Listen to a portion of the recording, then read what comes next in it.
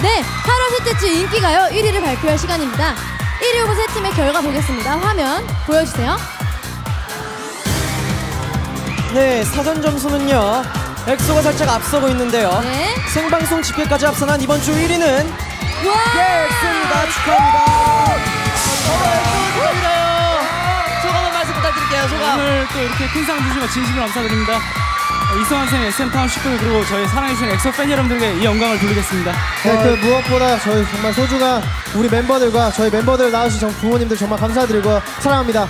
呃，真的非常感谢支持我们的 XO 的歌迷们，我爱你们，谢谢。 네, 소감 감사하고요. 8월 셋째 주 1위 엑소 다시 한번 축하드리고요. 저희는 여기서 이만 인사드리겠습니다. 생방송 SBS 인기가요! 축하합니다.